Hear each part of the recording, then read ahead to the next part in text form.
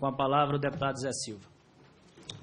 Senhor presidente, senhor Leonardo, eu queria primeiro perguntar quando que começou o mandato de, de Vossa Senhoria?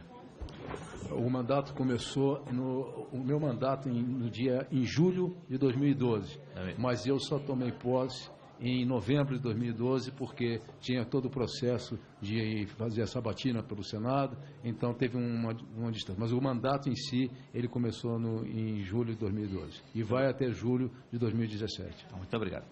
Eu queria perguntar a Vossa Excelência, a Vossa Senhoria, o senhor afirmou ao responder ao presidente em exercício Paulo Teixeira e ao deputado Raul Jogman que existiam investigações e apurações paradas há algum tempo na CVM.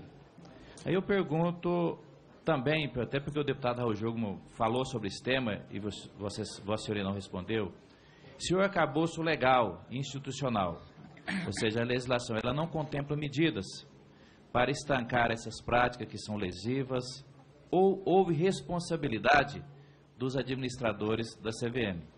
Por exemplo, houve um caso citado pelo próprio deputado Raul Jogo, com 32 irregularidades e não foi estancada. Eu pergunto se houve responsabilidade, por isso que eu fiz a primeira pergunta, ou se nós aqui dessa casa, eh, como já foi também esclarecido, nós não temos um arcabouço legal, essa casa não se debruçou, então, qual dos dois motivos? Se nós temos que realmente construir um novo, um novo arcabouço legal, e vocês estão trazendo informações fundamentais para nós, ou se também lá na CVM houve responsabilidade nesse sentido.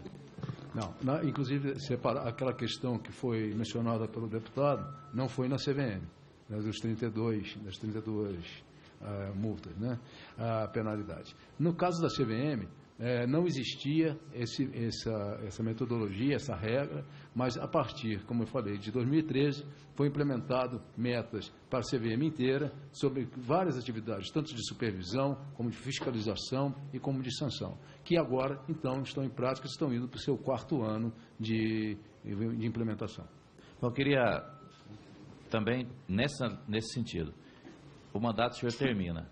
Lá dentro da CVM, o que vai suceder, Vossa Senhoria, ele vai seguir esse arcabouço legal ou ele, ele tem o poder discricionário de não fazer um planejamento estratégico, como eu vi que vocês não, fizeram? É, boa pergunta. Eu acho que hoje os órgãos todos de controle né, que, que olham a CVM, eles entendem né, que as nossas metas, inclusive, são coisas que nós temos que prestar contas ao TCU, né, que então são coisas que vão para ficar. Esses aperfeiçoamentos aconteceram na minha gestão, mas eu, tenho, eu, tenho, eu acredito que eles aconteceriam de qualquer forma.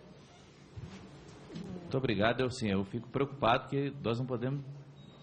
Cumprimento vocês, né, mas eu fui gestor do Executivo há mais de uma década e um dos problemas é isso. Você tem o poder discricionário, passa de gestor, vem outro gestor, nós não podemos acreditar. O que a gente precisa é ter essa certeza e queremos construir aí esse arcabouço legal. Se eu puder esclarecer, a CVM constituiu um comitê de assuntos estratégicos de planejamento estratégico e é formado não apenas por dirigentes e gestores da alta administração, mas também por técnicos da própria autarquia. Então, eu acredito que sejam medidas de cunho estrutural e institucional e não pessoalizadas. A gente tem transformado mesmo a cultura e a governança da CVM de maneira permanente.